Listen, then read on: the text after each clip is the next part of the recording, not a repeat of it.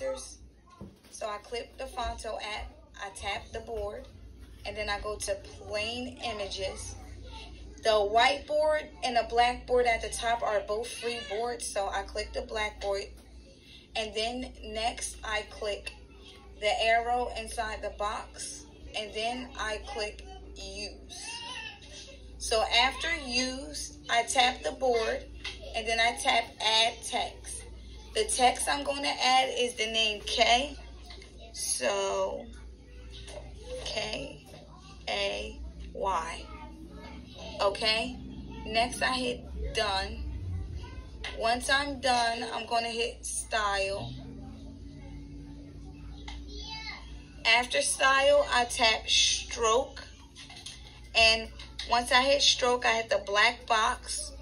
And then I'm going to turn the width all way up. And that's how I create my shadow and Phonto for iPhone users. Thank you for watching. Please like, subscribe,